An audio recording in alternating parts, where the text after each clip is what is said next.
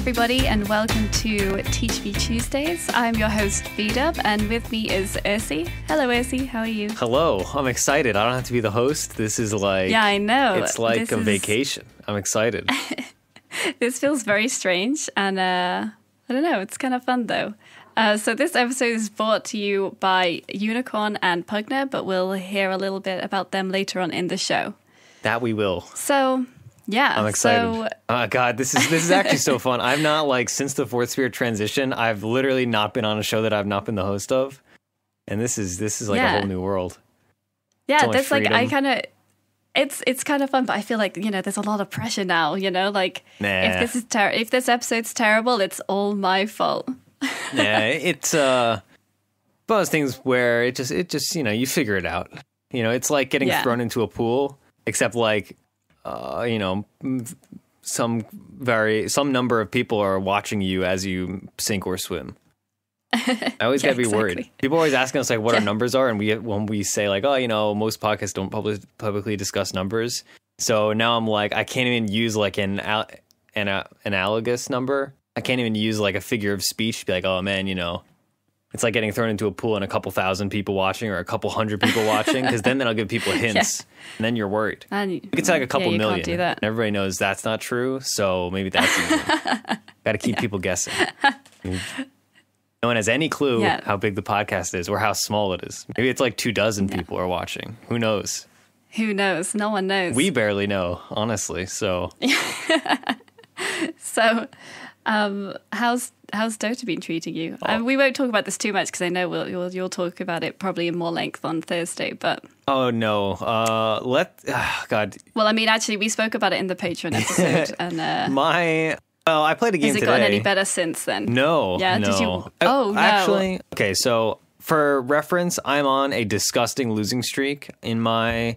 Let's see, one, two, three, four, five, six, seven, eight, nine, ten, eleven. My last eleven games, I've only won two of them. Um, Yeah, and a lot of those, painful. yeah, a lot of those were like four games in a row that I just sat down and played and lost all of them. Also, it wasn't like a game here and a game there. It was like painful. Like I literally sat down and just lost 75 MMR all at once in like the space of like an hour and a half, and like none of the games are even close. So my my enthusiasm for Dota is not exactly at a high point. I think we should say I'm kind of uh my current my current Steam name is Dota 2 Game Winner because that I feel like if I put positive energy out into the Dota universe, I'm gonna get it back. And I, Yeah. I did break my losing streak yesterday. I won an Ancient Apparition game. Well, hey, Thank God. that's good. Um, I built a Bloodstone in that game, uh, which was quite fun. Okay, Uh, Interesting. I didn't finish until the end, but I was building it anyway because I wanted to regen, and I was like, I already Yeah. have an Aghanim Scepter. Uh, I'm just gonna do whatever the hell, heck I want. um, well, it must have worked because you won, right? Yeah, it was uh, it was a good game. I I think I, I played quite well. My AA is getting quite good. Also, he's bugged. I'm pretty sure they still have not fixed that bug. Um, Oh, really? that his yeah his uh somebody correct me if i'm wrong but i'm pretty sure it's still bugged that his ultimate his ultimate has a level 25 um level 25 talent that adds 4% to the ice blast kill threshold so instead of being 10 11 or 12% is 14 15 16% that's supposed to be his 25 Okay. talent but i've heard that that is always applicable and i know for sure it was like that like i want to say a week ago but i don't know if they fixed it and i just mixed missed that patch that bug fix anyway i like aa a lot now especially because i see morphling constantly and yeah, um, actually funnel, tricky. funnily my like i say in my last 11 games i only have two wins both of those are ancient apparition games and well, actually one of them didn't count because it was an 11 minute game where we just got intentionally fed so actually in my last 10 Oh. games i've only won one that's more accurate um but yeah i brought i broke my losing streak by winning that game and that felt good Well, that's good. and then i lost the Yeah. game today in 17 minutes so you can tell how much fun that was i did get to leave Yeah, it though that sounds. but i didn't get to I mean, at least it was short. Yes, or Right? Invoker abandoned after losing mid really hard to an OD. Oh. um, Oh no. Yeah, it's rough. It's rough. It's uh, it's real sad times. Luckily, most of these Have- losses are in unranked, except for the three that were in ranked, or no, the the five that were in ranked. I don't know at this Have point. you have you played the uh, the Frostivus mini game thing? No, I have the somewhat um what's the word for people? I have the curmudgeonly opinion that I just if I'm if I load into the Dota client, That's a good word. yeah. I like that. I I if I load into the Dota client, it's to play Dota. I don't load into the Dota client and say I want to play a custom game or I want to play turbo mode. Like if I want to not play Dota, I'll just go play not Dota. Like I'll open the division or I'll go get load up a JRPG or I'll watch TV or I'll do something. I am not ever loading to the Dota client and clicking on the arcade tab. So Yeah. I've not touched Frostivus. I again, I'm just a curmudgeon. Like I've accepted it. Eventually, maybe like uh, by the end of the month, I'll get my three wins for a free treasure. But Yeah. at this Yeah. rate, at this rate, it's going to take a while. it's going to take 30 games or whatever. I I got mine today actually. I played two turbo games today and won one yesterday. I didn't know turbo counted, but it does. Oh so, wow! Um so yeah, you could just maybe turbo them, I don't know. No, I, I also But- refuse turbo. but also like yeah, you just said like if if you're not playing an actual game of Dota then it's not happening. Yeah, I understand. Like, I understand who Turbo is for, and I'm glad that it exists. But I am not the target audience for Turbo. Mm-hmm. Like, the advertisement for Turbo is it's like Dota, except it's not serious. And I don't play Yeah. Dota to not be serious. Like, Dota is a serious game. If I want to not be serious, I'll play in like five stacks. But Yeah. I like Turbo just feels wrong to me. Again, like why would I play Turbo when I'll just go play the Division? Like Dota is a Yeah. game that's meant to be taken seriously. I used it today as like a warm up because I felt like I was a bit too kind of rusty Yeah. just to jump straight into one. Gotta get the fingers nimble. Actually, yeah, kind of. Yeah, so I just played like two quick, and they were really quick, right? I think it was like, I don't know, 20 minutes each maybe, but yeah. My regular Um, games are like that recently. I haven't had a, Oh. I haven't had a game let's see. Yeah, in my last 11 games, I've not had a game go over 40 minutes. That's actually ridiculous. I'm looking at this Oh, now. I can't believe that's true. wow. Oh my god, it's just been so, it's just been so bad. And I, complaining is not fun to listen to, so I'll stop now. But man, No, I don't like Dota. Actually, that's um, that's one thing. Uh, uh, that wasn't a question I was planning to ask, but do you warm up before playing a game, or do you just go straight in? Always, I always play an unranked warm up game. I Okay. I maybe like once or twice in my life I've opened client and just immediately gone to ranked, but that is those those instances are few and far between. I always try try to play a warm up game, and if I don't play well in the warm up game, then I don't play ranked. I just keep playing unranked. Oh, I see. Okay. Like even before going into unranked, do you load up like, um, you know, when you like demo heroes and stuff? Just to Yeah, no, I don't do that. Uh, do you ever do that? No. unranked much so like i said i always take dota seriously i always play unranked seriously but Yeah. i i'm not that worried about it if if there's something i want to test i'll open up demo mode just conveniently just because i'm going to do it anyway but i don't actively think oh man i'm about to play unranked i better warm up and play unranked i mean and play in demo mode Okay. so yeah. I mean, some people do that. Like Proud Right. used to, uh, and he's probably a lot better for it. And I probably should have been doing this, but he used to when we were in queue, he would, especially for Theorycraft Thursday games, actually, when we were in queue, he would load up the custom game that's like the last hit trainer. And like if we were doing a Theorycraft yeah. Thursday on like a Drow, he would load up Drow and just do like five minutes of last hitting while we waited in queue. And that probably like that's something I should have been doing, but I was like, now I'm just gonna like read through Twitter for like five minutes. Yeah. Yeah, that's something I always do too, but I probably should be doing the last hitting practice as well.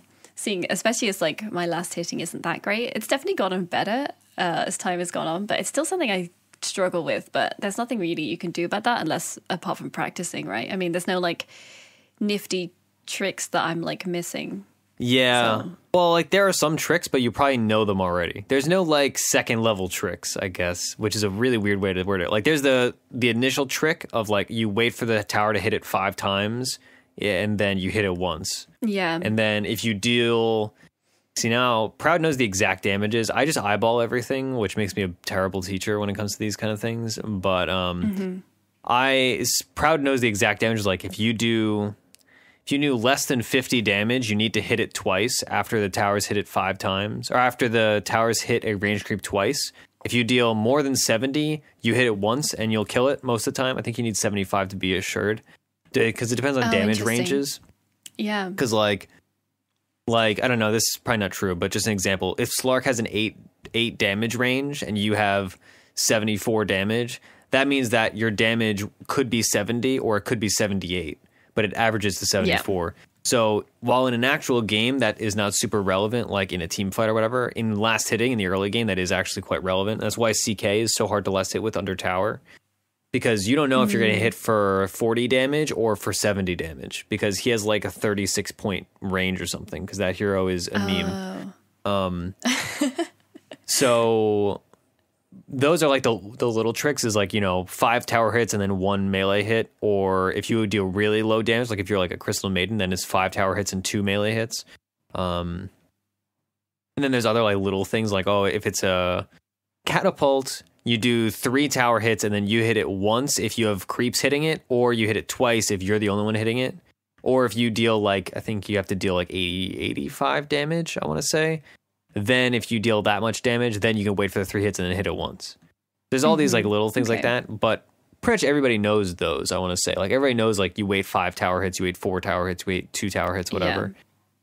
So yeah, once you've like gotten those, which will help you incrementally, then it's just like, all right, you're off on your own. Figure it out, and you just have to like suffer through missing less hits for like a few thousand games. hmm It's hard. Like again, like you said, Yeah. there's no there's no trick to it. It's just kind of one of those things No. that like it's like learning a language, right? Like everybody wants to know the quick tip, like the the quick trick to like, oh, how do you memorize vocab words in French? It's like, well, you know, you get flashcards and you sit there in the dark for like four hours and then you just fla- flip them over and over again and you learn how to say fish. And it's like, all right, that's how I learned Yeah. how to say fish. There's no like trick that's like, oh yeah, I slept with it with like a vocab book under my pillow and now suddenly I know all all It French. just absorbs into your brain. Yeah. Right. That's like yeah. That's like people used to say like, oh, if you um one of the study study tips people would say like in high school, like people would be like, oh, you know, what you got to do is you got to record all the vocab on like an MP3 player, and then you put it in your headphones at night, or you play it like on Oh, yeah. speakers, and then while you're sleeping, like your mind subconsciously is registering these words. It's like that's not true. Like that does, that's not how No. that works. But it is like Otherwise, everyone would just do it for everything, Yeah. right? Like it's not. That's not yeah. true. There are some merits Have like you ever have you ever tried that? By the way, have you? Did you ever do that? No, but I will say there are in like in the way psychology, or I shouldn't say psychology.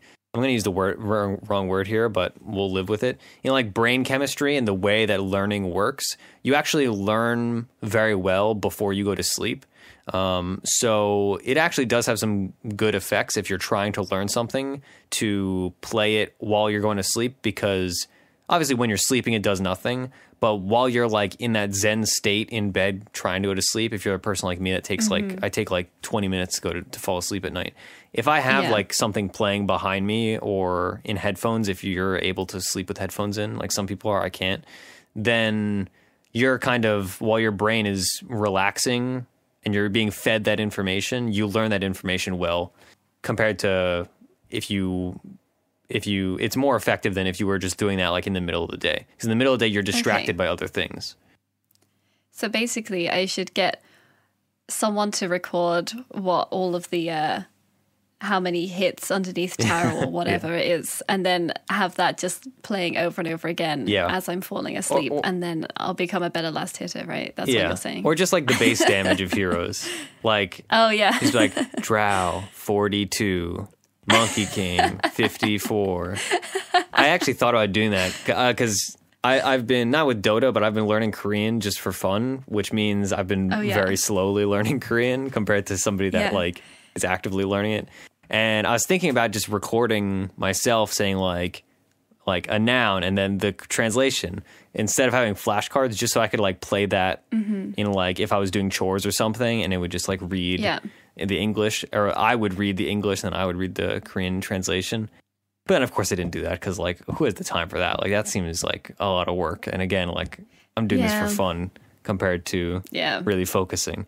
But you Yeah, could do true. that. Like some people, that's a really productive way to learn things and like memorize. Like, and again, Mm. it's Dota, so it's a you know maybe you don't have to take it super seriously, but like I make flashcards and never use them because I find the process of making flashcards a very educational experience.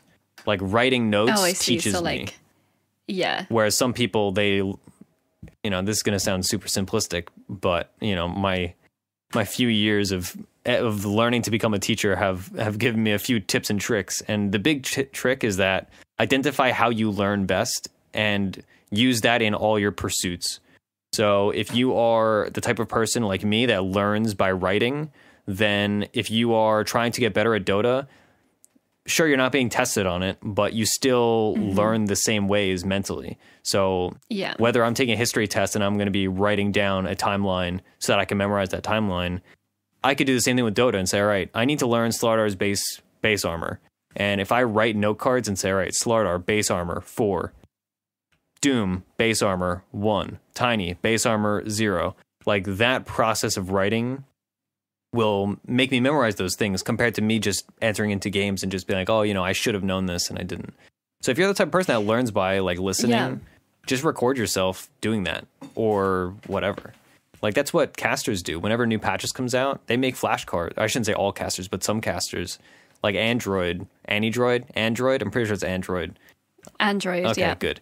I've heard it both ways, and every and people correct it both ways. They're like, "Oh, you said Android, it's Android," and then they say, "Oh, you said I think it's Android." Android. See, that's what I always thought. because everyone thinks it's Android, but Yeah. it's not. It's Android. I think. I'm, I'm like ninety percent certain that's Android. I've also like we we met.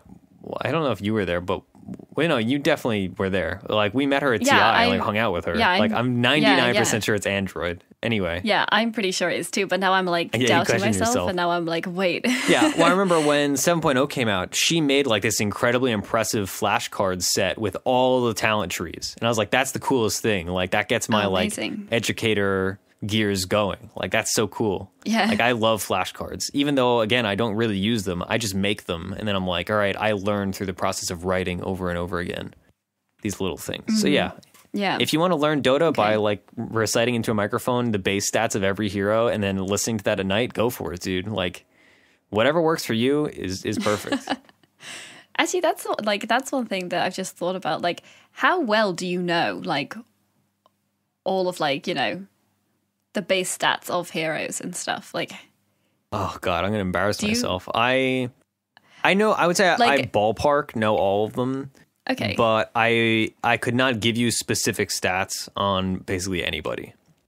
okay, Like Alright. especially for stats. Like, like I know like like Spirit Breaker has and again they've changed these through the years. I'm pretty sure Spirit Breaker has the most strength at level 1 and Hmm, okay, that is a fact that I know, or at least that was true for a very long time, or at least he's in the top three. Treant Protector, I think they gave him a strength buff at level one.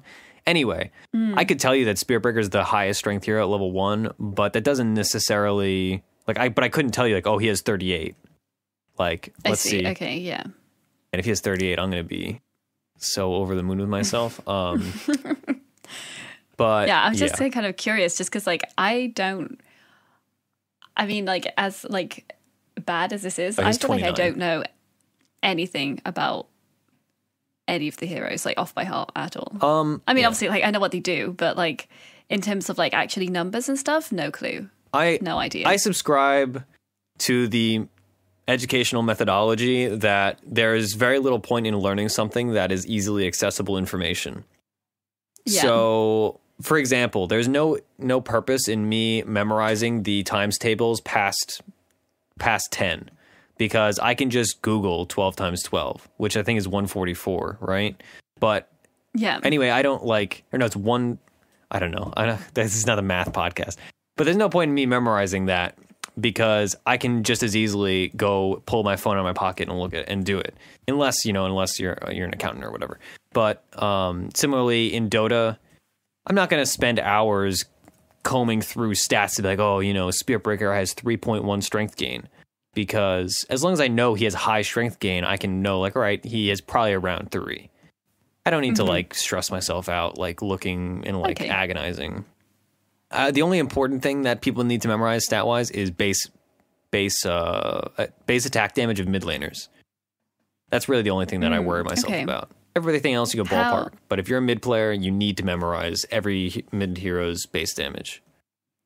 How? Why is that mid exclusive? How come that doesn't apply over kind of all lanes or whatever lane you're in? Mid. So again, like it's useful information to know always, mm-hmm. but it's. Yeah. more relevant to certain heroes than others, right? So like it's pretty pointless to know a lot of a lot of um, s- of supports base damage because it's not very relevant. As long as you know Mm, true. ballpark, like CM does very little and Shadow Shaman does a lot. You don't need to know. You don't need to memorize. Oh, she does thirty six and he does seventy two. But with mid laners, since it is a quote unquote 1v1 mechanical intensive matchup, you need to know all right, I'm playing Shadow Fiend. I have 36 base damage. After I have a Wraith Band, I'm going to have 43, which then means I'm going to be at a nine point disadvantage against this this uh, TA. Or Okay. just that you know because again like it's so mechanically intensive you need to be able to gauge all right this person is going to have an advantage on me therefore i need to get a second null talisman early like if i'm playing shadow hmm. fiend and i'm in a matchup where i'm super disadvantaged instead of getting boots early i'm probably going to finish my aki and a wand because i just want to have more stats to have more damage because i'm not too worried about getting boots to get kills i'm worried about getting four more four more uh for more agility from like um, finishing my wraith band or finishing my uh, my Aki and getting eight, and getting nine more damage. Like those little things matter a lot more in mid matchups. Whereas in the safe lane, you're basically playing against yourself in a lot of in a lot of times, unless you're getting aggroed, I suppose.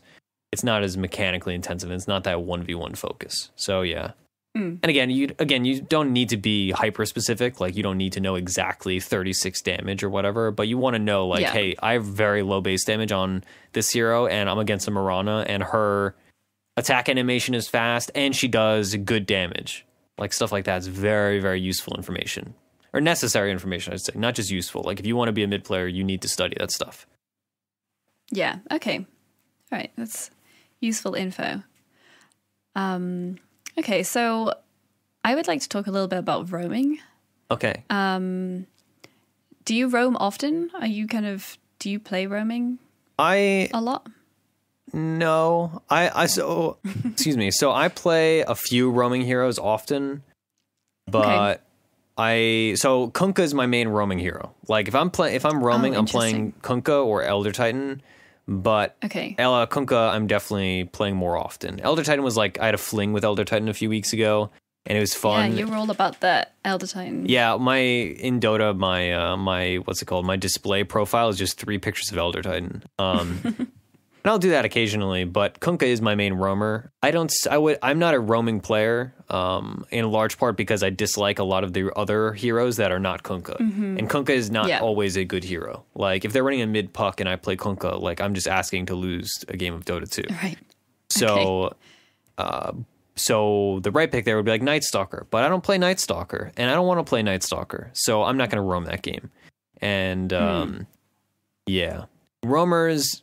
Some people have that like roaming mentality, or that like a roamer's um, what's it called? Roamer's personality, and that's just not me. Yeah. I, I'm not good at diving. Okay. That's one of my weaknesses, and I suck at Yeah. Spirit Breaker. And Spirit Breaker is always the right Okay. choice if you're playing four.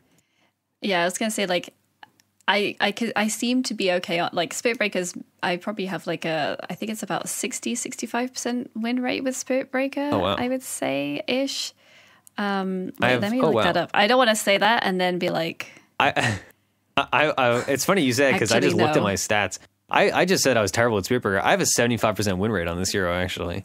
oh But? I hate him still. I have uh, 12 games, 9 wins, 3 losses, which is not a lot of games considering I have like 4,000 games or whatever, 5,000 games. But uh, yeah, I don't feel like I'm good at Spearbreaker. Breaker. I feel like Spirit Breaker is just so good that he carries me to victories that I don't deserve.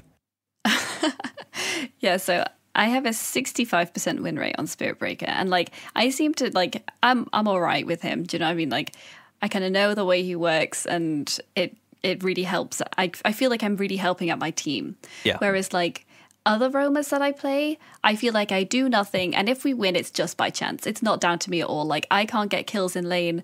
I wander around not really sure what I'm supposed to be doing. Like I just I just don't know how to do it. So- much. like because I know like my goal my goals are to kind of get kills, get ganks, and like instill fear in my enemies if I'm not on the map, right? Yes. That's pretty much what I'm trying to do.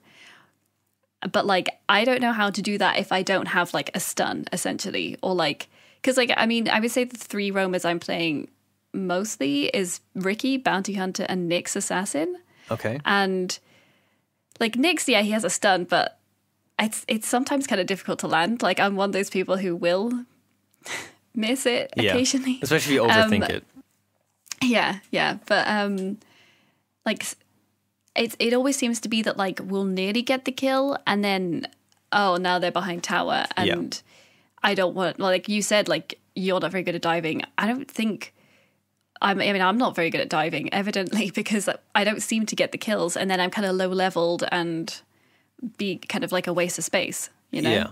So I actually think so. You're describing basically what I would say is the simplest and most key issue that people playing roamers run into, and it's very dependent on hero choice. And a lot of people, so four, aka roamers, are grouped together, but they are very distinct from one another. Within the category of Yeah. roamers, I would say there's two subcategories, maybe three. Okay. I'm sure I'm going to add subcategories as I go on in this in, Sure. in this explanation. But let's start with Okay. two. So there are roamers like Spirit Breaker that force issues, and a Spirit Breaker jumps in. You your mid laner, like let's let's just say you're ganking mid for all of these mm-hmm. examples. If you are playing Spirit Breaker, your mid laner knows you're coming because it's very obvious, and they know you've committed fully to doing something. And yeah, sure, you can Yeah. stop your charge, but in general, they know like, hey, something is about to happen. Mm-hmm. By doing this action, you are forcing an issue and you are forcing something to happen. Similarly, if you're like a Night Stalker at nighttime, if you rotate somewhere, your mid laner knows like, hey, it's go time. Like my Night Stalker's here. He just flew over a cliff using Stalker of the Night. He silenced the enemy QoP and then he used a void. I have to Yeah. jam on this person, otherwise, like this is a wasted effort. But then there are more passive roamers that are a bit more um, intricate and annoying, like more more like a nuisance that do not force issues, but they're good when issues are forced by other heroes. So like Bounty Hunter mm-hmm. is excellent if your mid laner forces an issue, or for that matter, if the enemy mid laner or the enemy roamer forces an issue on your mid laner. Bounty Hunter is great to just pop in and just be like, hey, I mini stunned your Spirit Breaker, so his charge stopped, and then I slowed your QoP, and she doesn't have boots yet, but my mid laner has boots, so he got away, and then he salved up, and then Yeah. he came back, and then he double raised her, and now she's dead. Like that's a great thing. Whereas a Spirit Breaker in that situation would not be able to pop in from behind because he's not an invisible hero. It turns out. Um, so these these uh, these issue creators are very distinct from the heroes that do not create issues. They solve issues or they react to issues, like Riki and like Bounty Hunter, um, and like Elder Titan. Elder Titan, if the enemy Okay. hero is fast, is not going to force an issue because they're just going to run away from stomp. But if they if they like aggressively move on your mid laner and then you catch them off hand and stomp them, you're amazing. Like you're you're going to win that team fight and you're going to be a god. But they're two Yeah. very distinct heroes. So people kind of mess up. They they confuse the two. They conflate the two is the proper word. Um, because they're really not the same. Even though they're all roamers, they're very distinct kinds of roamers, and it's important to play them differently because they are they excel at different things. Yeah, that's very true actually. Like I've never thought about them being but there are those like two distinct kind of groups. Yeah, Um Yeah, interesting. Okay. some are a little bit in the middle ground, but that kind of messes my whole metaphor up. So I'm not going to talk about those. okay. like Kunkka's in the middle ground. Like Kunkka is Wind, he seems like someone who does something though, like because he can jump in and do the X marks the spot thing. And is he not like a kind of? Um Does he not fall into the kind of spirit breaker type? in in the mid game and late game, he is a lot like a Spirit Breaker where he forces an issue because he gets a long Yeah. range X mark. But in the early game, he is very much a like either you need to have a really good torrent, which does like no damage because they nerfed it like 16 times in a row. You either need to have a really good torrent, and then that creates an issue with which your mid laner follows up, or Okay. you need to have your mid laner like set up. Like let's say your mid laner is an OD.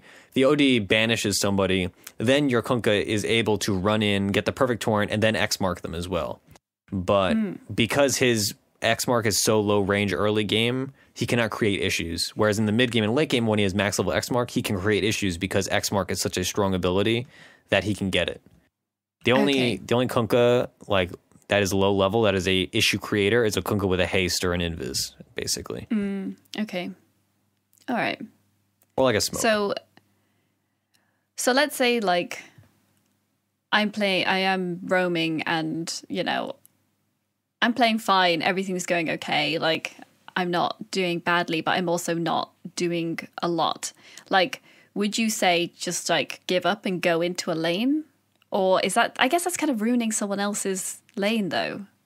Like, what do you do in that situation? Like, if you're kind of roaming around, you're not getting kills, do you just keep trying? Or, and also, how long should you, like, because I know getting the enemy courier is like great, but how long do you wait and waste time to try and kill it before you go, this is not worth it? And is it worth it to waste all that time? Um, I realize that was probably like a billion questions all at once, and I should have separated Well, those out rather than just bombarding let's- you with let's do the simplest one first. Okay. let's do the simplest ones first. So the simplest one is how to like when do you give up on sniping courier? yes. Sniping courier, the easiest way to do it is through mid lane because mid lane has easy paths for for both teams. It has easy paths Yeah. to snipe the courier, and also mid lane has the most kind of linear item progression that everybody knows. So, or you know, more or less knows.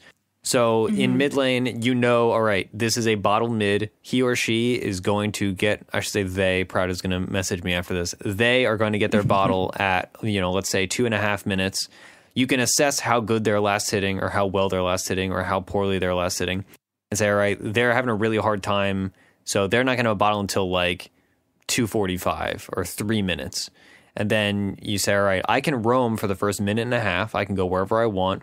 And then I'm going to come back to mid around 215. And I actually, even when I'm playing five, I snipe couriers. What I like to do is I like to place a ward in between the tier two and the tier one in the spot that obviously does not have true sight. And mm-hmm. then I find it easier to snipe couriers after they have given the item to the hero Okay. if I'm not on a hero like Bounty Hunter or like Spirit Breaker that is going to one shot the courier. If I'm a hero like uh, I played a Rubik game and I sniped a courier, and Rubik does not Oh, one nice. shot a courier, but No.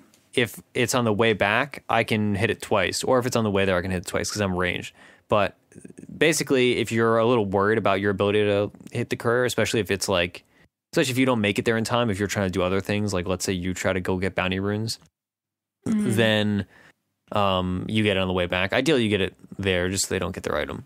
But anyway, the point is, I never try to snipe curs after three minutes unless I know Okay. for sure it's going somewhere or coming back from somewhere and I happen to be in the area. I generally don't bother. Like, Right. it's handy, sure, but I'm not going to stress over hunting a courier that I have no clue where it is in a pub Okay. because Yeah. you just you just don't know. Like at a certain point, you know, if it's past three minutes, like unless unless the enemy, like let's say uh, let's say the mid that we're talking about earlier did not get their bottle in still three minutes, and you're playing bounty hunter and you have an orb of venom, you know you can still snipe that courier because you have Shukuchi and you have the damage from invis if it comes by. But if I'm playing Rubik, I'm not going to bother because there's absolutely no way I, as a Rubik, am going to get that courier anymore. Yeah. So you just have to assess can I still kill this courier while it's flying and has the middle laner not used it? If you've already missed it on one trip, then that second trip you have no, cl- no clue when it's going to come. Because the first trip is mm-hmm. always the very clearly cut one. Also, it used to be easier because people always got a salve at level one, but nowadays people aren't doing that anymore because mid laners just don't need it as much. I guess I don't. I don't know why some people don't do that. I'll be honest. Like the salve at, hmm. at early is still really good, and I like it a lot. But for some reason, people don't do it as much anymore. Anyway, yeah, just uh, try to do it before three minutes, and if you don't get it at three Okay. minutes, then just do it if you have the opportunity. bother. but don't, yeah, Yeah. don't don't stress about it. It's sure it's flashy and cool, but you know you're you're trying to win a game. You're not trying to be flashy and cool. If you can do both, that's good. But you really only need to do the winning. You don't need to look flashy and cool. You just need to get that plus twenty five. All right. Okay. So, um, I think another question that I kind of threw out there in that kind of yeah, Hodgepodge. just stream stream stream of questions was like if like ganking isn't really working, should I just go to a lane and try and get XP, or do do you just keep on trying? Like if it's just not happening, what would you recommend? I mean, I guess it's very game like yeah. it depends case to case. Um, There, there. So, I guess the way I would best assess it, without obviously having the game specific stuff, right. is that if you if you have the potential to gank and you are playing an issue creator, if one of your lanes is already winning, it's very easy to set a set up a kill there. Like, yeah. uh, okay. let's say my mid SF is really dominating an enemy Death Knight or Death Knight Dragon Knight, but cannot actually seal the deal and kill that person. If I, as an Ogre Magi, sure I've not been able to kill earlier, but if I pop over and have one stun, that means my SF gets a triple raze combo and gets a kill. My relatively simple contribution netted an entire kill because my mid laner was already winning his matchup. That is a time where even if my ganks were not working earlier, it's going to work now that's one time where I would go and gank, even if it had not worked out earlier. Um, if my mid lane SF was also losing, then I might go bother a hero if I can bother that hero.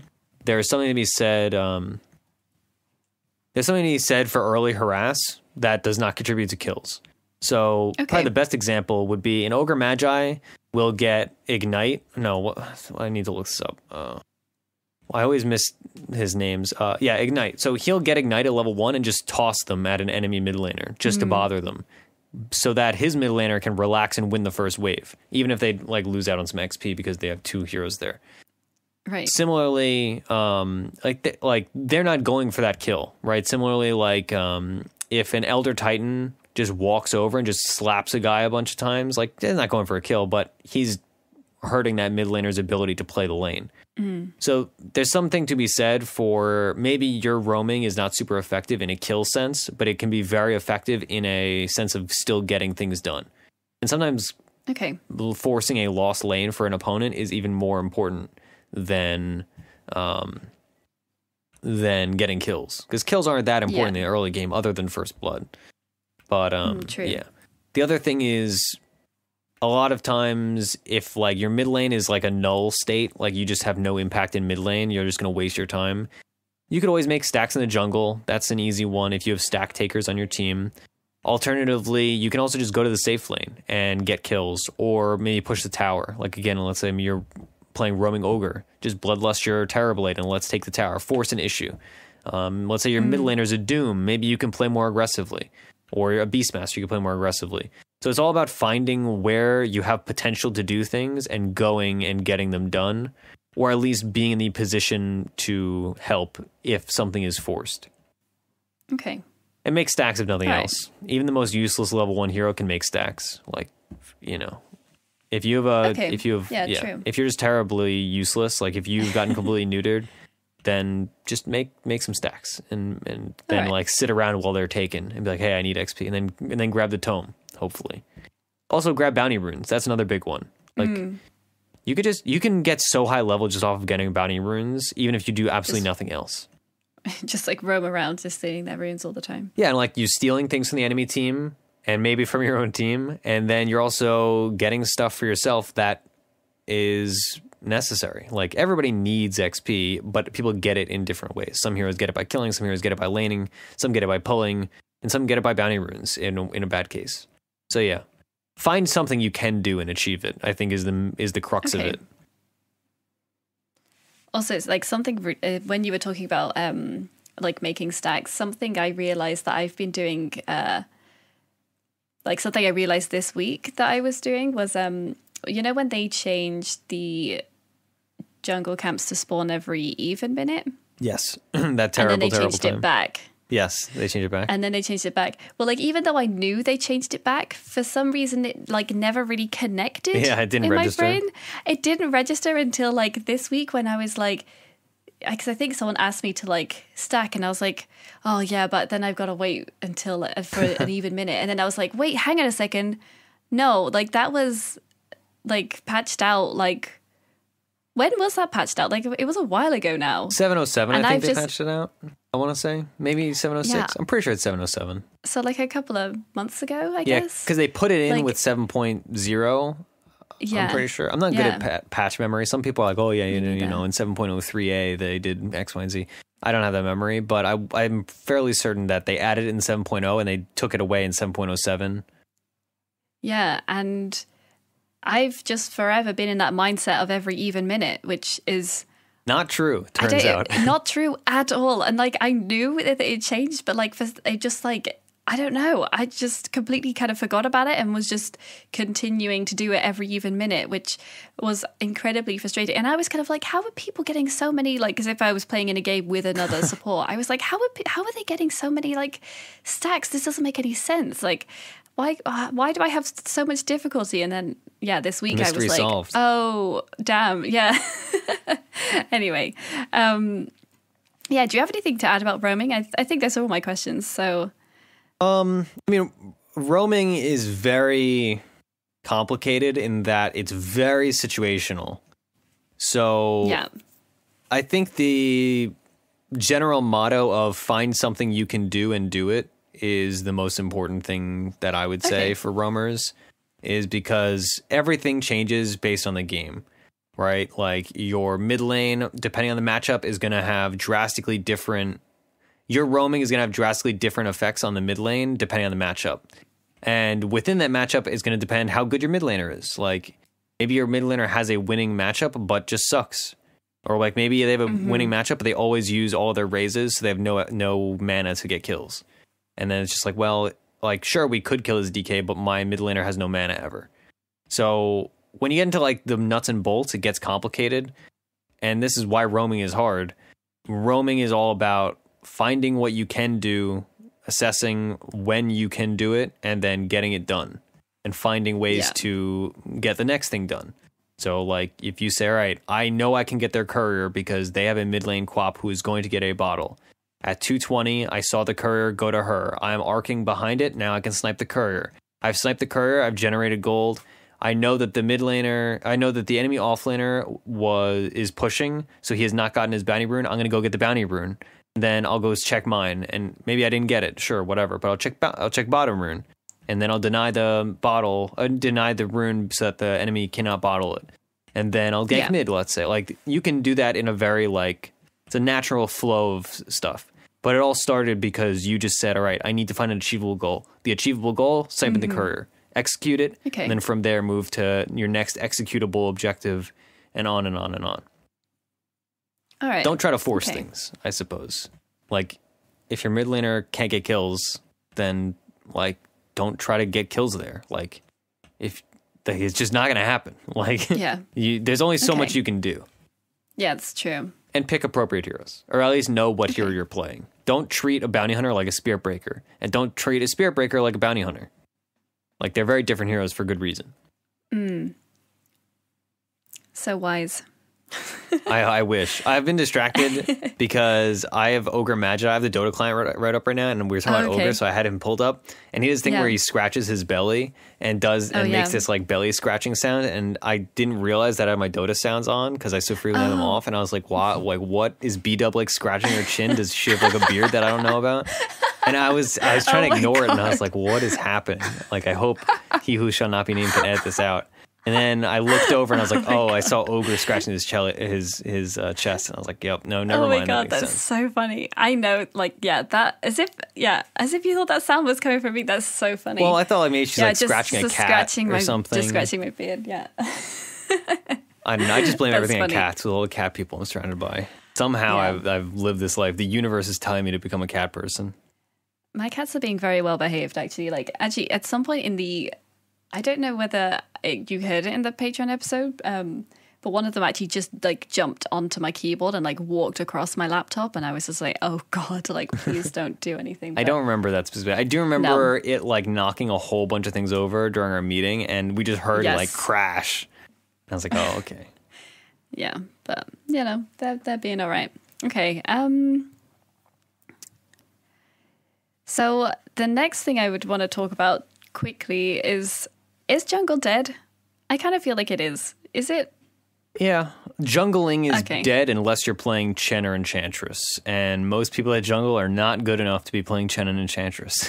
No. Um. All right. jungling is dead. That being said, you can still get away with it if you try to force it because pubs are ridiculous and like bad things win. You know, that's Yeah, not that's rocket true. science. Everybody wins with five core team comps sometimes just because that Dota is weird. But That's the saddest, isn't it? Like you, you know, like there's a chance that they could win, but they really don't deserve it. yeah, yeah, and then they like do win, and then it's really sad. Yeah, it, it you know Dota's ridiculous. That's just how it is. Like I just lost to a four four core team comp when I my team had a good team comp, but the enemy team Yeah. they picked like they had a they had troll and anti mage and OD and morphling, Oh, what? That's greedy. but then they just dominated us because like Dota is nonsense and like who cares. So you Mm. Yeah. can get away with jungling, but no, it is not good. Like Okay. unless you're playing a Chen or an Enchantress or like an Enigma, maybe you really like it's not good. Like they've nerfed.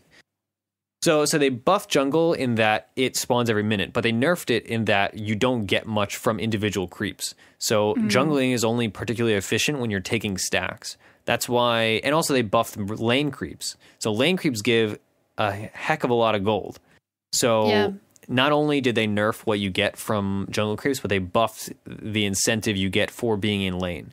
So jungling is worse proportionally because you're getting so much less than lane. That's why, like, um, if you're playing anti mage, you are better off taking a uh, taking an extra wave and killing an extra wave yourself rather than taking three camps of creeps. Because those Yeah. three camps of creeps are going to give you you know depending on the camps i suppose less xp and a little and less gold. So you don't want to jungle because it's just you get less stuff. And also iron talon's dead so it's hard.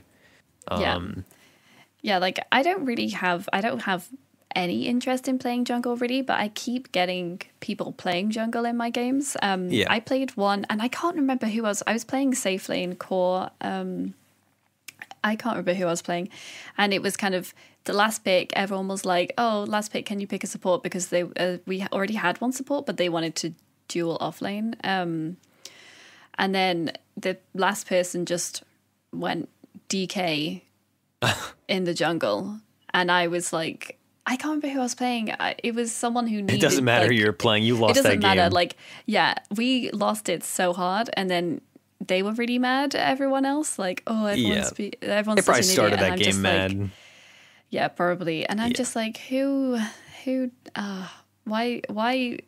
Yeah, Yeah, aggro duos are like the better jungle.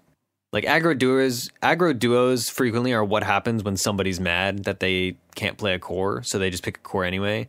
I'd rather have them play an aggro duo that's something weird like DK Dark Seer. Like, sure, that's terrible, but it's going to be more effective and it's going to create issues for the enemy team. Whereas if they just play DK jungle, like they're just a really bad DK. Like, I'd rather like if you if you aggro duo with two cores or like some weird support core thing, it throws a wrench in the whole game. Like the enemy team has something unexpected to deal with, and a lot of times they won't deal with it well. Uh, whereas if you jungle, you're just absent. Like you are having literally no Yeah. impact on the game and on the laning phase, which is the game. Yeah. Like laning phase is the game for the first you know eight minutes or so. So yeah. I would have rather than jungle, just do random be- crap in the off lane. Yeah. Like just throw a wrench in the system, or do random crap in the safe lane. Like Yeah, I like I, lost. would have preferred. Sorry, go ahead. no, I mean like I've lost to so many ridiculous things. Like you, like you lose to support invokers, and it's because they just like show up and they just do weird things, and you're like, oh, I didn't expect to be cold snapped here, and then you die, and then you're like, oh god, like I lost the, oh, I lost the safe lane because they have a doom and and support invoker that roamed here and Colts had me, and I constantly got stunned because of uh of the fire walking thing. Yeah, It's like you don't expect that to happen. Like that should never happen in a game of Dota 2, but it does because that guy threw a wrench in the whole system. So yeah, if you're gonna jungle, just go to the off lane and call it the jungle. I, I like I don't I don't know. Aggro duos are so good. It's actually ridiculous. Yeah. I hate it. Like I, I like they're just so good. Like they shouldn't be. Like theoretically, they're always bad. Like theoretically, I don't want them, but then when I see them in games, I'm like, uh, how how do I possibly beat this like Mirana Morphling aggro duo? Like there's just no way. Mm-hmm. Like I can't kill either of them. Sure, like it shouldn't work, but it does. Like he has waveform, she has arrow, she hits one arrow, they stun you, and then they nuke you to death. And suddenly they have two cores that are farming in the off lane, while you have like Yeah. two supports that are just feeding. Like, yeah, it shouldn't work, but it does. Like, because Dota's nonsense. So Mirana is such an irritating hero. Actually, like I feel like I've played a, a lot against um against her a lot recently, and man, she's great. Like she's just so good. she's, I Like- proud hates her, but I love Mirana, and I actually I think Mirana off lane. I don't think it's good, but I think it is strong in lane because leap means she's incredibly hard to kill unless you absolutely stun Yeah. lock her, which a lot of team comps are not able to do. But then the thing about Mirana that makes her such a strong hero in just in general is that her animation is godly. Like her animation is so good, her missile speed is so good. That's another thing. If you're memorizing flashcards for Dota stuff, you need to memorize uh, missile speeds and attack animations. So good luck with that one. Um, that's a big part of mid laning.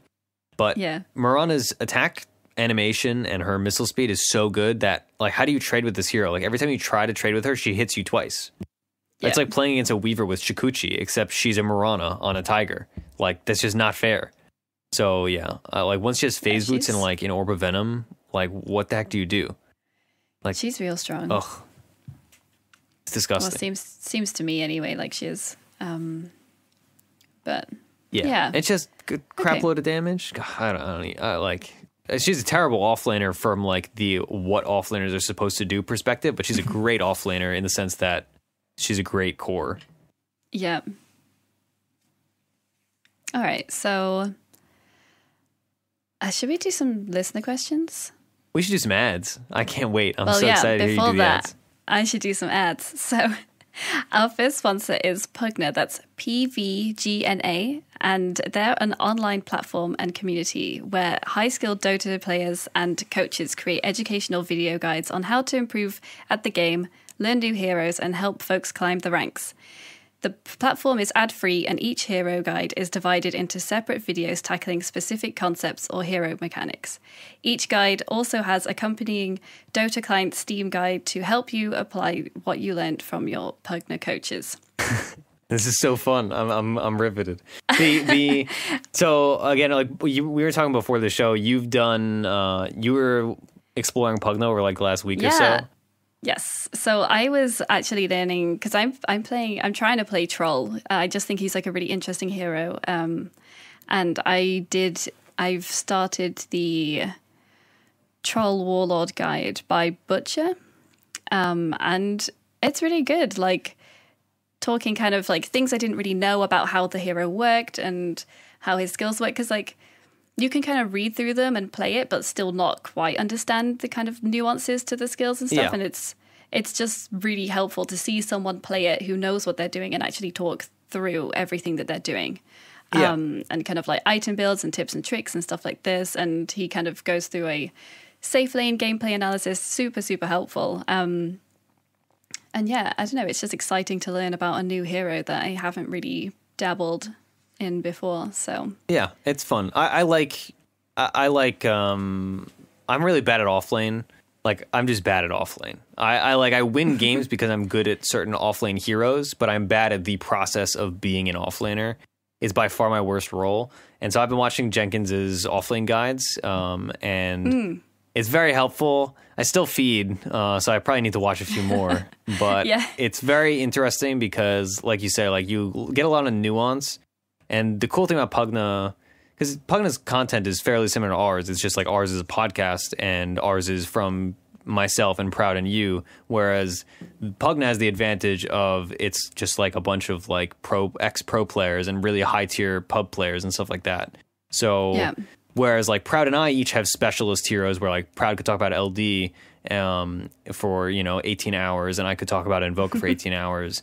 On PVGNA because they have like nine, 19,000 coaches or whatever.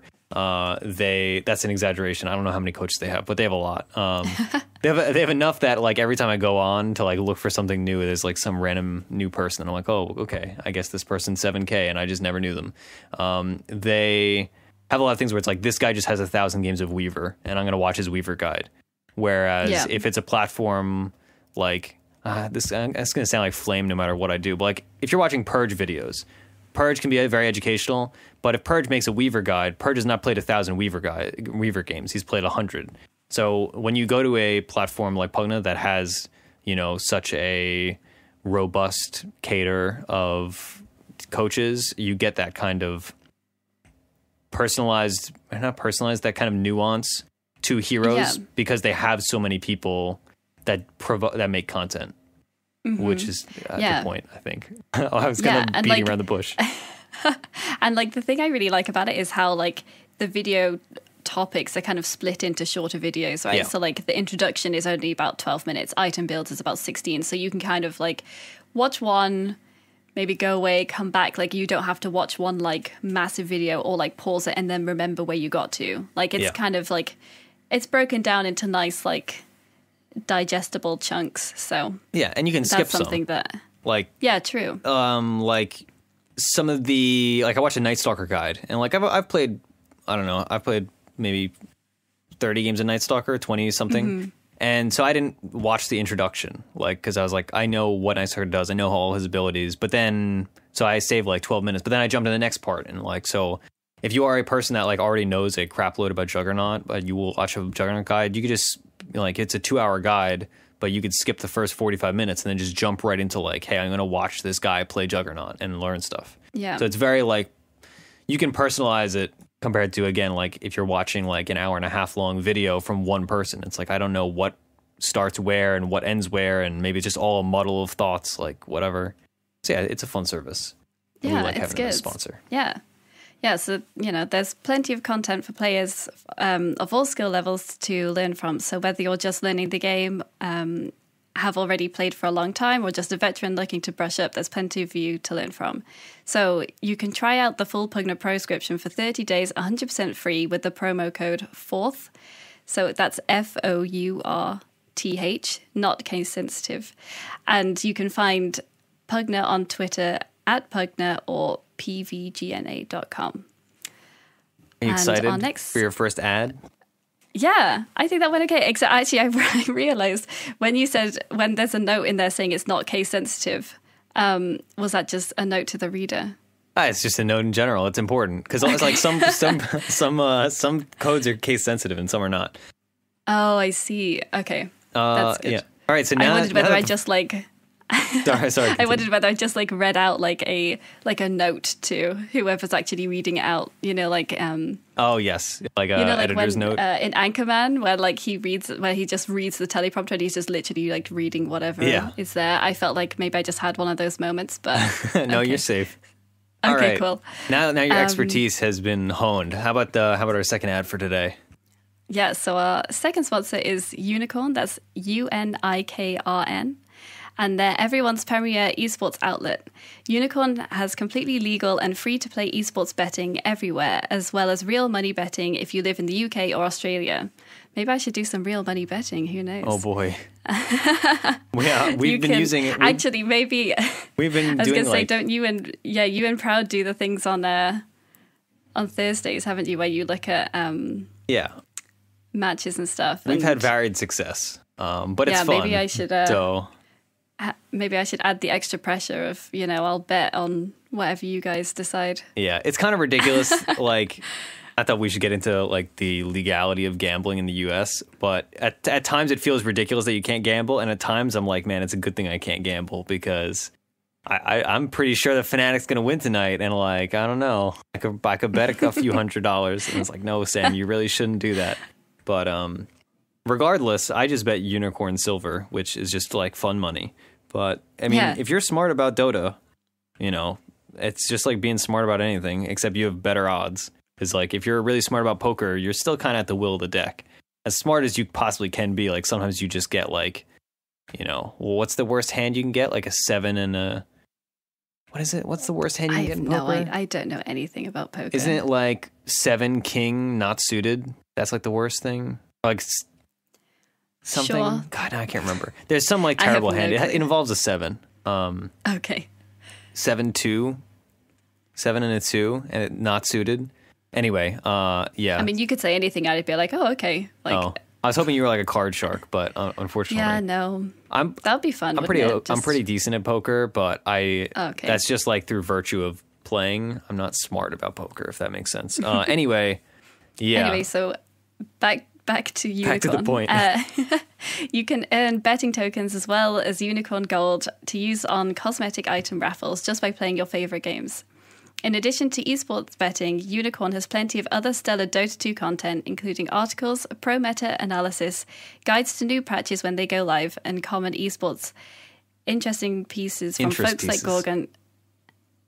What? Wait, what did I say? Interesting pieces. I mean, I suppose they are Oh, interesting Well, I'm pieces. sure they are interesting pieces too. They're, they're both. They, they're multitasking. I was thinking about that. common esports interest pieces. I was, I was thinking about that because our uh, I our old uh, ad read we we would talk about uh, other.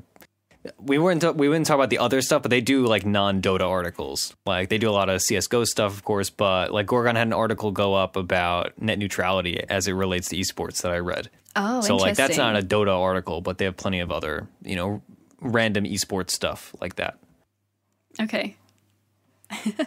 so Unikrn also has their new Unikrn Connect service where you can earn Unikrn Gold just by playing Dota 2, CS:GO, or LoL, and trade in gold for chances to win cosmetic items from those games at no cost to you. You can find Unikrn at unikrn.com for more info on Connect at unikrn.com forward slash connect. That's unikrn, U N I K R N, and connect, C O N N E K T. Perfect. We're golden. There you go. Man, now now we've gotten two that. different accents to read the uh, the the uh, sponsor prompts. It's Oh, fun. yeah. You get all all the variation. Like premiere becomes however you say it. Premiere. Prem, prem, how do you say premiere? Premiere. It, it I said prem- premiere. okay, maybe maybe it was a different word that I noticed. I feel like you said premiere different. Anyway, doesn't matter. But that but that is different, right? I mean, it is different, but it's not that different. And I say premiere. Premiere, premiere.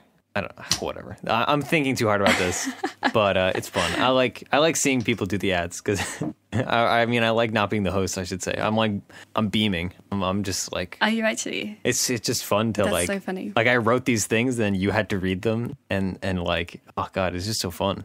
Um, anyway, Yeah, I was actually thinking like I should that should not have been like the first time I was actually reading them through. I realized like I have not read these, so I, that was just me just trying to read them for the first time. That's all right. it came out Um, great. I did much worse my okay. first time. So everybody, that's that's how that's how the ads work. Uh, it's very fun. We enjoy them, and we enjoy the services that we get to work Yeah. with. So, Yeah, so listener questions. on to our questions. Yeah, so you get to pick them. You get all the host duties. Okay, so I mean, if you don't want to answer one of these, just let me know. and We can save it for proud, I guess. Uh, yeah, I mean, some of them are very proud centric. like that's that's what I mean. Like not ones that you don't want to answer, as in like if they're more proud centric. um, not I, like I, you I know we'll leave them. all the. I'll- I'll- Yeah? Let's see. I'll choose one. I mean, I'm not going to be answering them, am I? So um. Let's see. You just read Kruger's. Screw it. Oh, let's not think yeah, too hard. sure. Just just read this.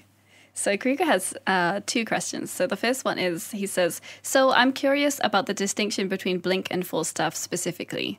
Some swear to one or the other, and others vary what they get base what what they get based on whether or not they need int or whatever.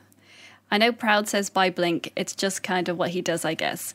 But if you had to be super objective about it, what do you have to say on that? It's a very good question. So this is uh, especially like I mean, you and I play a lot of support. This is Mm-hmm. I would say very often a support question compared to a core question. They're very there are very few cores that make hard decisions between blink and force, but there are basically every support makes this decision. Um because cores, you have so much money, right? You're just like, hey, I'm just going to buy a blink, or hey, I'm just going to buy Yeah. a force staff, right?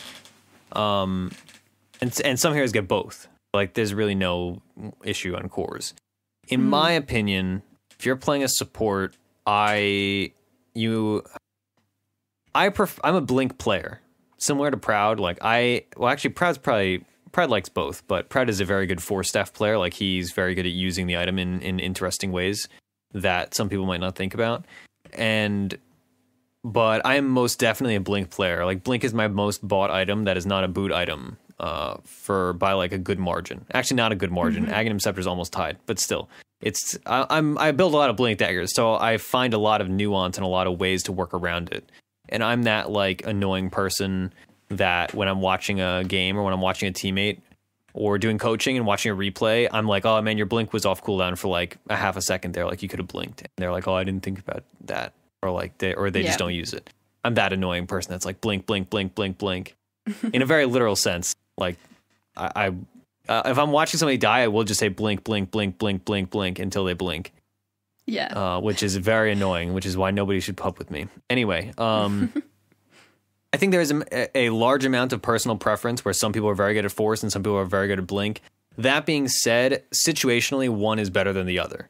So uh, situations where force is the clear winner are when you are going to have your blink disabled.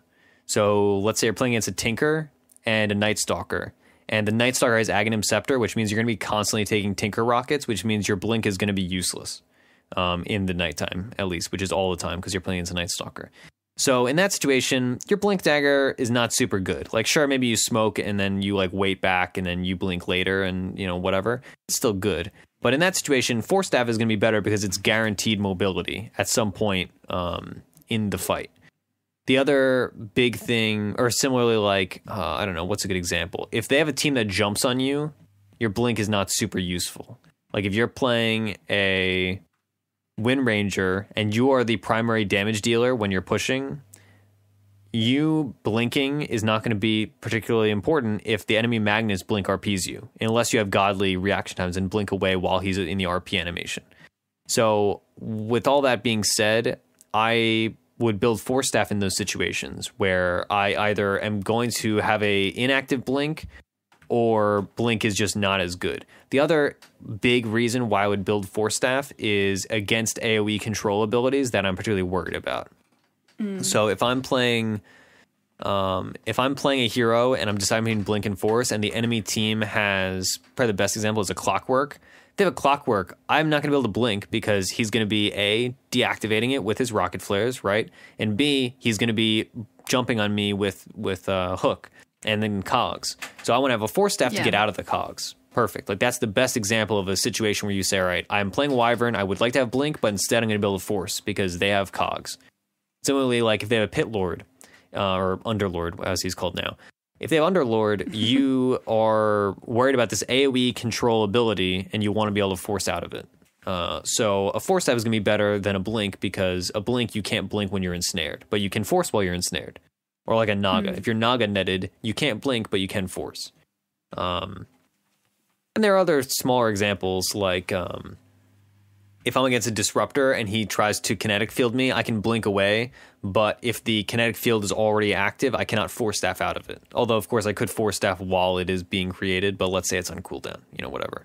Oh, interesting. Or like uh, yeah. if they have a Skywrath Mage mid and he rush he rushed a Kaya and then an Atos if he atoses me, I can't blink away from that, so I'm just gonna die unless I have a BKB. Mm. But I can force staff away from that, and then I'll probably still die because he saw me force staff and he has a long range. But still, you're a little bit better off. So mm. yeah, that's kind of the actual reasoning. If you're talking objectively about like how to decide between a blink and a force, but a lot of it does come down to personal preference.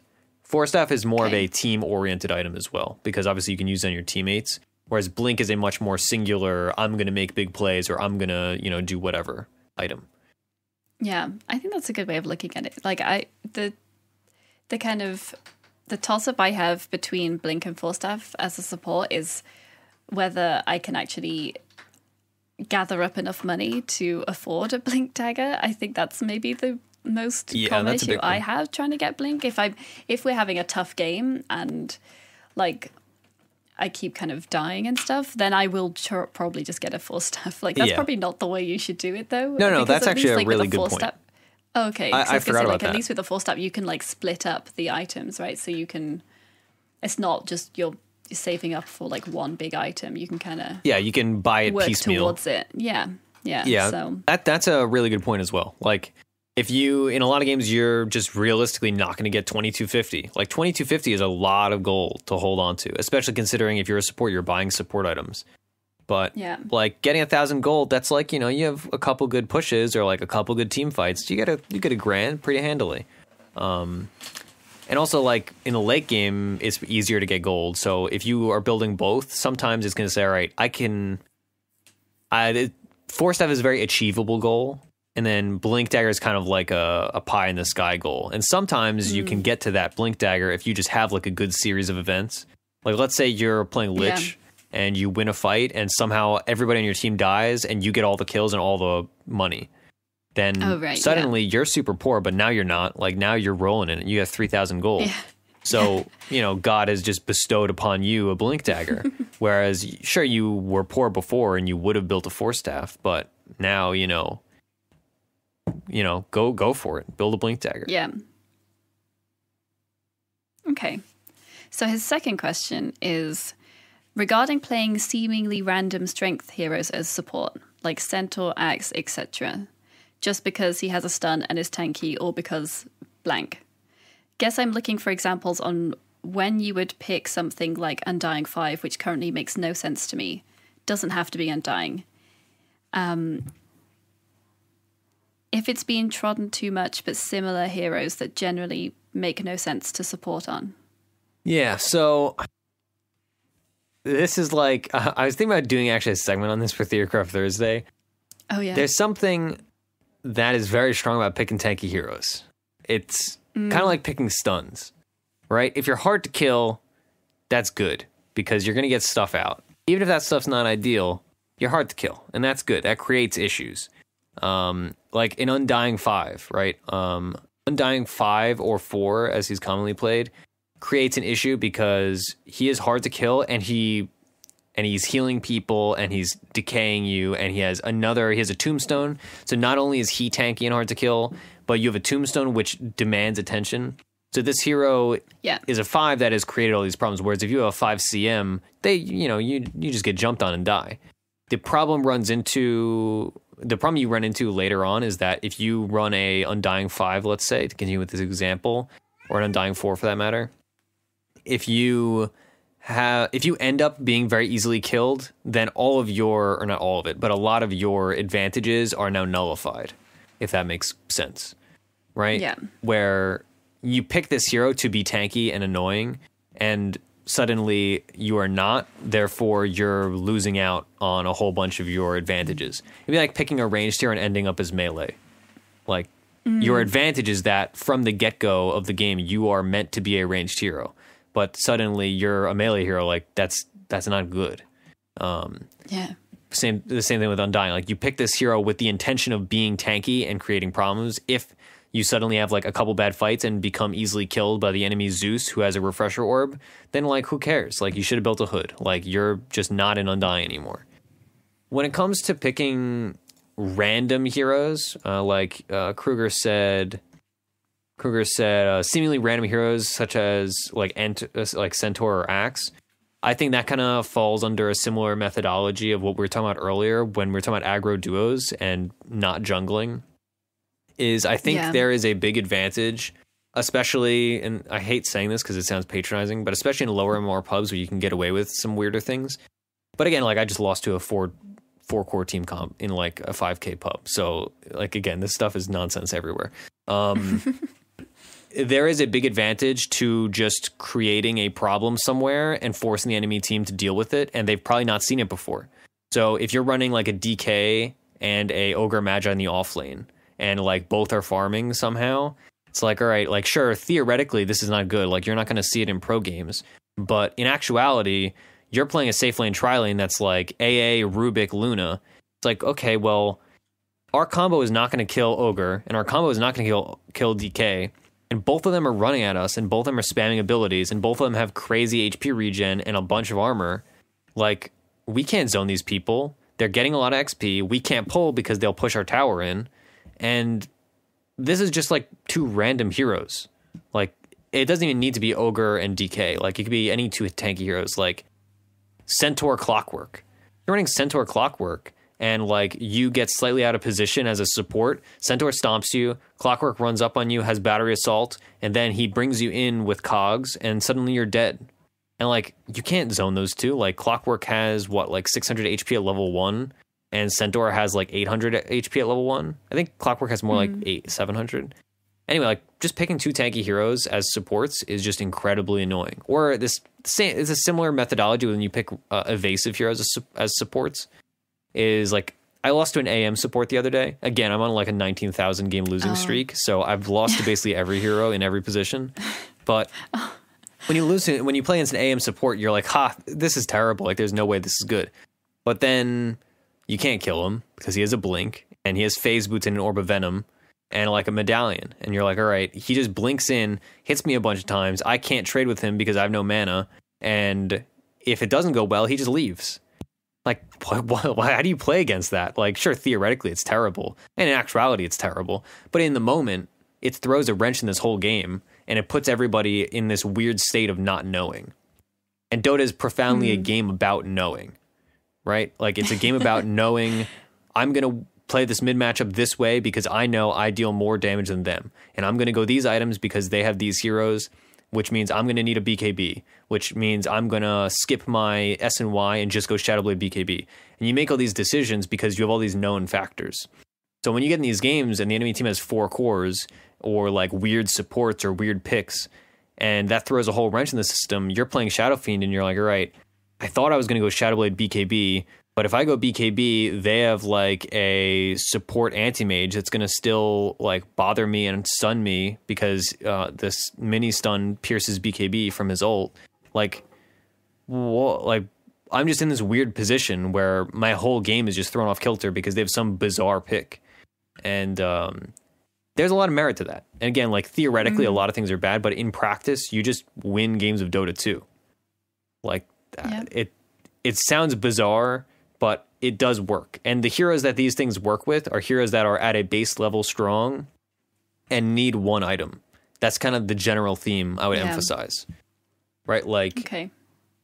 yeah, like if you ran like a support Timbersaw, that would not be good because he is very greedy. He needs a couple items and he needs big items and he needs a lot of XP.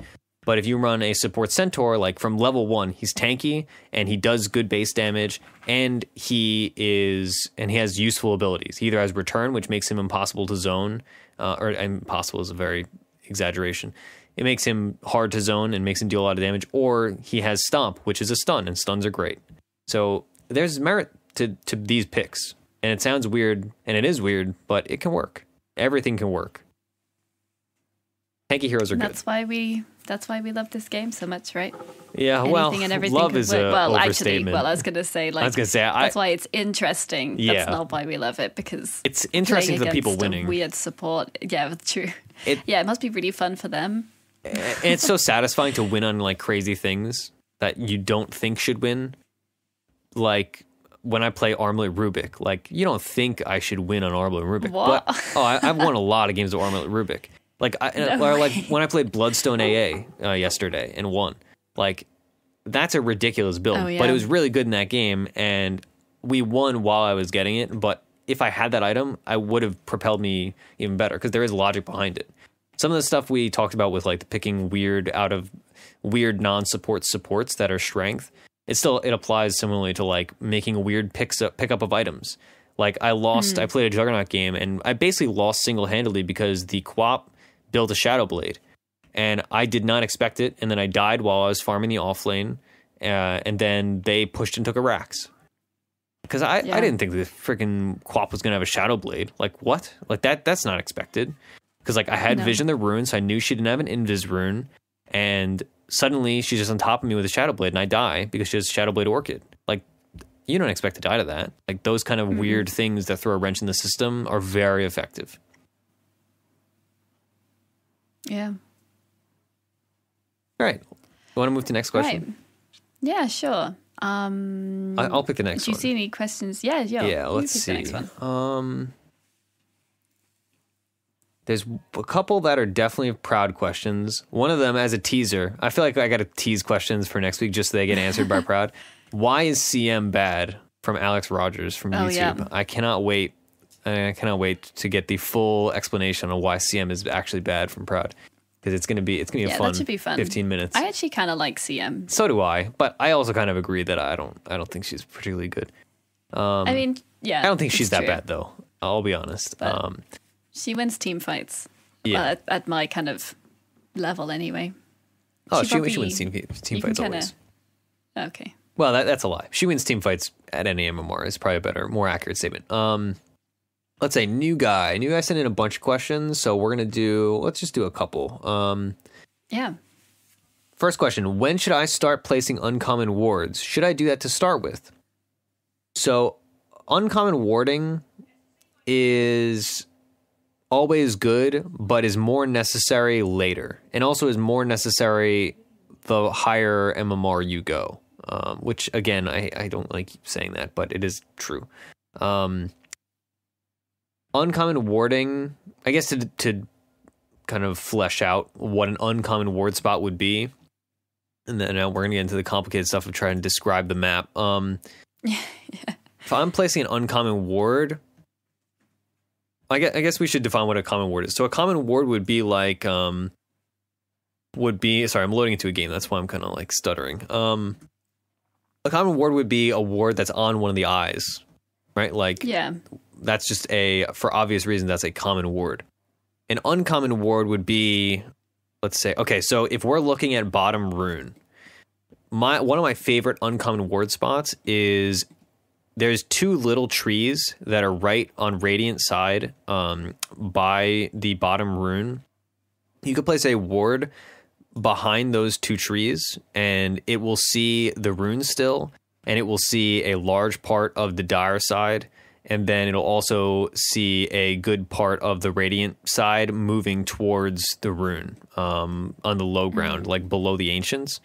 I really like that spot because it is an uncommon ward that gives common vision.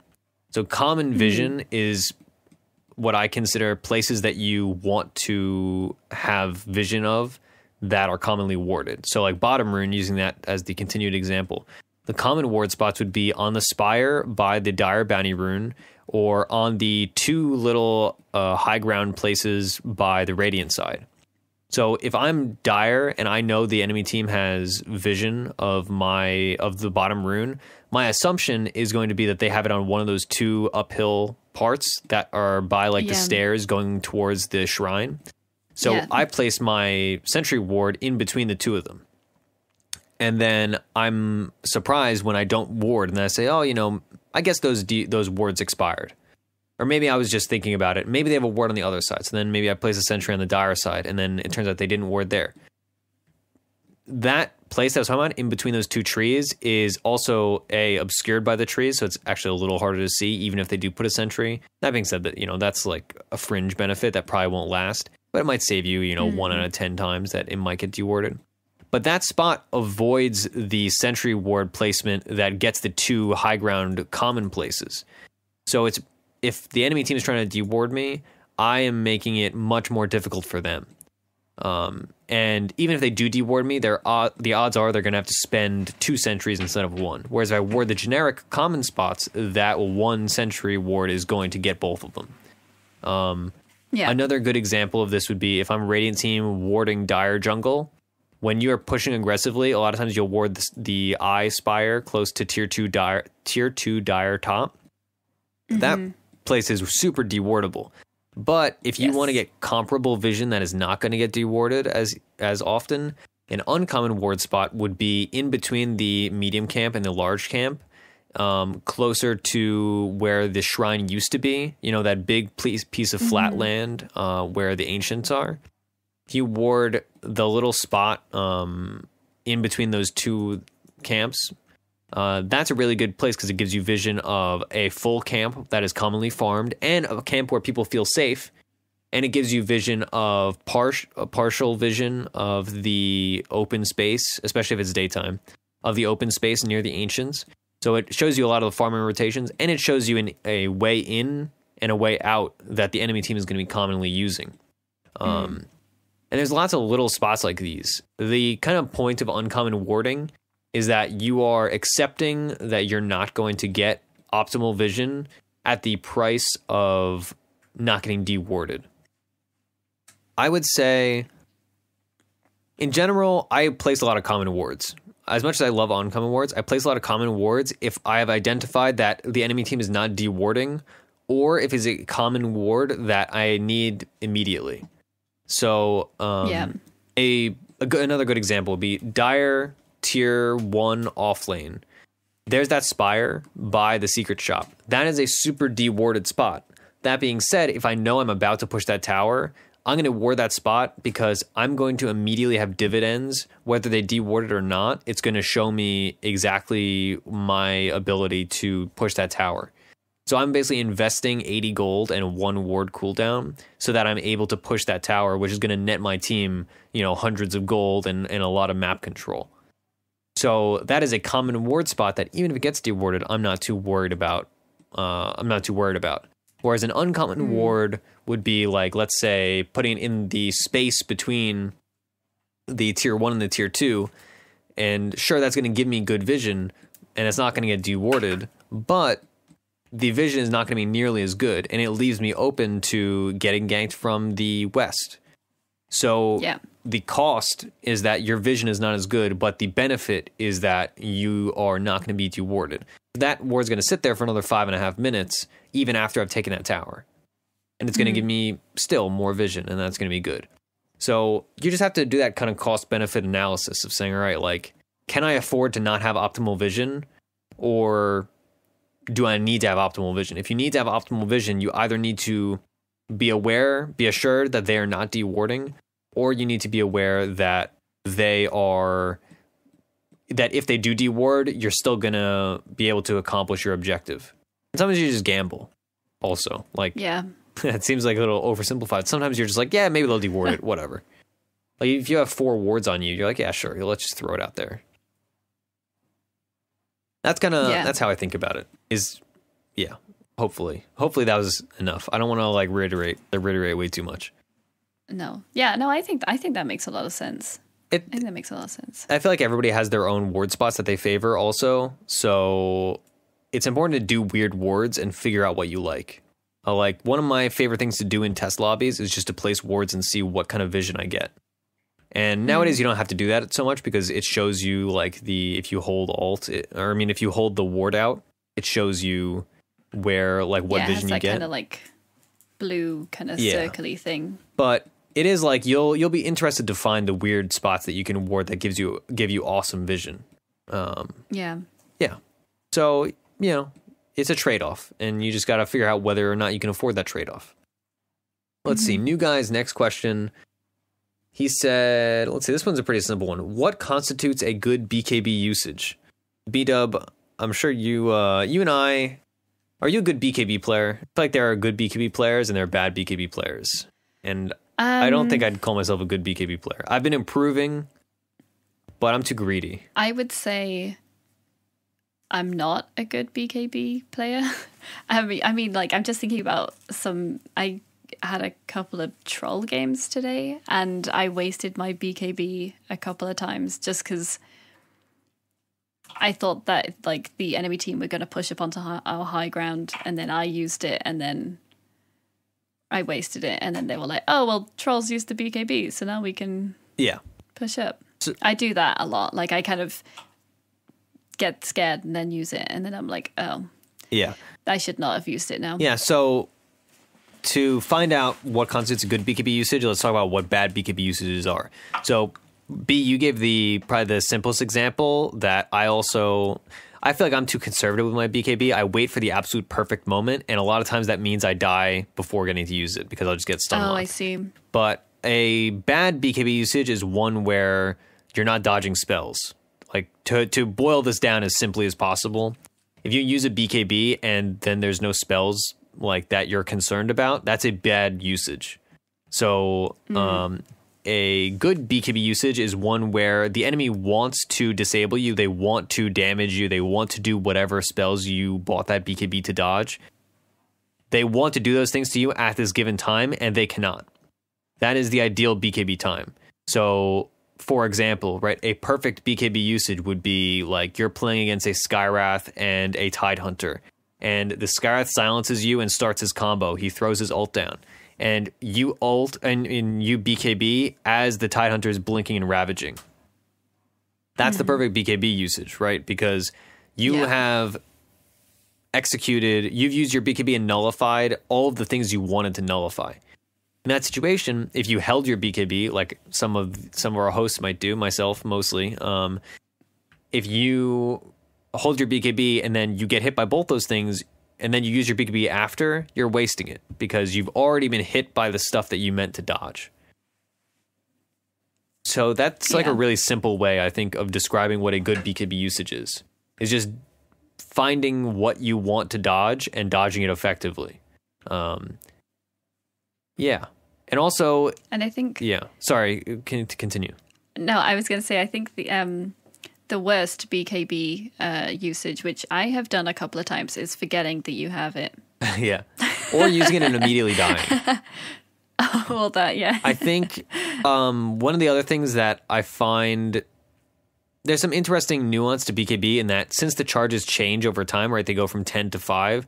The five second BKB charges you don't have to be as careful with um, because I feel like the five second BKB charges are a lot harder to use, but also a lot simpler to use, if that makes sense because the 10 second BKB charges, like when I'm using my 10 second and 9 second BKB charges, I need to win these fights. Like those are huge commitments. Whereas when you use a 5 second BKB, you are probably late enough in the game that you know exactly what you need to dodge and you know how you want to how you want to use it. So you could just pop it and just throw it out there. And it's only five seconds. Mm. Whereas that 10 second BKB charge, if you waste your 10 second BKB, that's a terrible feeling. Like you use a 10 second BKB and then like you get inf- and then you get like ulted by a bane. It's like oh, like okay like why did I buy this item? Like I just spent 5 minutes farming a BKB only for me to get bane ulted and now it's worthless. So those first few BKB charges I think you need to be using much more decisively and you need to uh, arrange around them and say all right, I just got a BKB, let's push because that's when you're at your height of its it's it's that's when your BKB is at is at its height of usefulness. Interesting. So, yeah, I did not realize that the duration went down. Beedub, B dub, I know. Beedub. I know. I know. You Like, this is actually like I, I'm I'm so certain that you're like lying to me right now. no, I'm really not. I'm, I'm like, I just, like, as you were talking about it, I was like, what? And I just looked up the item and yeah, damn. it does do that. Um, You're right. You're right. It does do that. You're right. um, yeah, I mean, that explains a lot.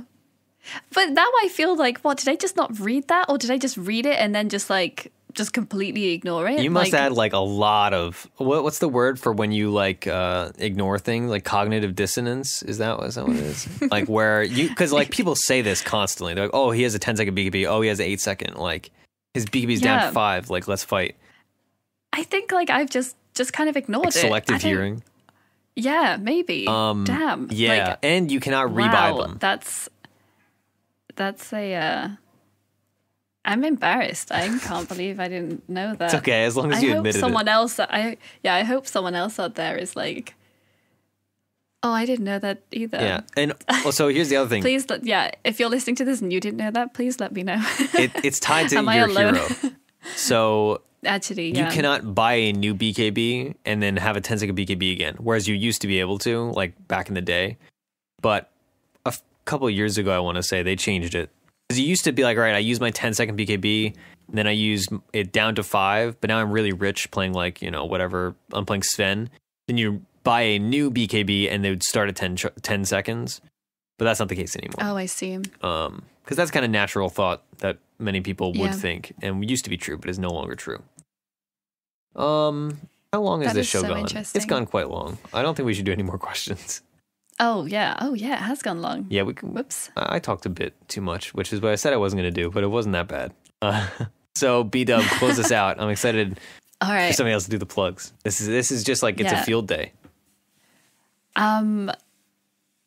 Yeah. So, I was, oh, wait, do you want to talk about Patreon for a bit? Oh yeah, so for a second. we, I know uh, you wanted so whilst whilst plugging Patreon, go to patreon.com forward slash fourth spirit. yeah, so we broke Help us out. yeah, we uh, we broke our 550 goal as of today by one dollar. We're at 551, which means Proud and I will be doing a once monthly, so long as we maintain our 550, a once monthly video series uh, playing Dark Souls because Proud has played Dark Souls like eight million times and uh, knows all the obscure lore and has played all the weird variants and is super into it. And um, I have never touched the game, and I've actively avoided the game because I knew that this would be a fun series to do at some point for content. So, because like it's been on sale before, I'm like, oh man, I should probably finally play Dark Souls.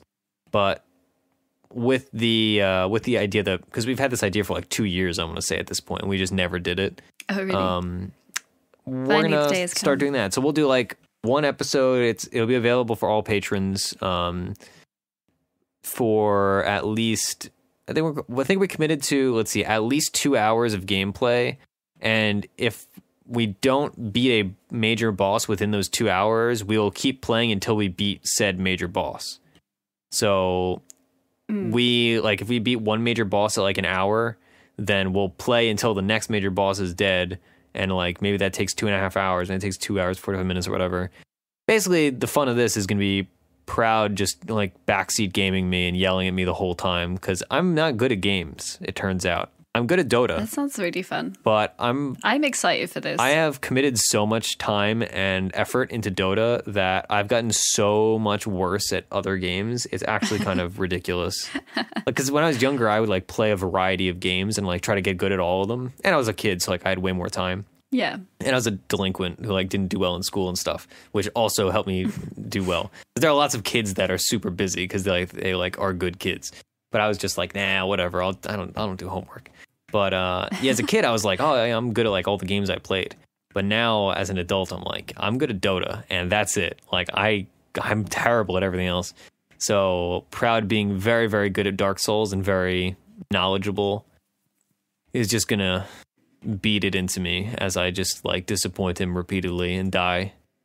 So yeah, yeah i'm very i'm very excited to watch this i've actually i've nev- never played dark souls either so like i am excited to yeah. I haven't even watched people play it. because again, I've been avoiding No. it. I've been, I've been Yeah. avoiding it actively just for this. Like one of the Let's Play YouTube channels that I like, they did a fun Dark Souls playthrough, and I was like, I can't watch this because it'll spoil me. I don't even know what the story Uh. of Dark Souls is. Like I, I'm, I'm, uh, I have my Dark Souls chastity still. Um, yeah, so that'll be a lot of fun. We we- we're excited Yeah. to reach that goal. We were gonna do it anyway. We were at like 542, and we're like, we should just do this for December because it's fun. So we're gonna be recording that this weekend. I think on Saturday the 23rd because we don't do holidays. Uh, Proud and I, so um, it should be fun. Um, yeah I Amazing. I think we might stream it. It depends how easy it is to stream um con- with like in conjunction with recording and whatnot. Um cuz I haven't set it up yet, but we'll see. Almost nobody watches streams anyway because like it's going to be the holiday weekend. So I'm not too worried about the stream, but it'll be a video at the very least and it'll be available on our Patreon for everybody that is, you know, you could be a $1 patron and you can have all this fun stuff. And there's patron exclusive shows and whatnot. Uh, you know, Patreon's dope. And you get the patron gold color in discord.gg slash fourth, which is where you can interact with all of us and send us questions Yeah.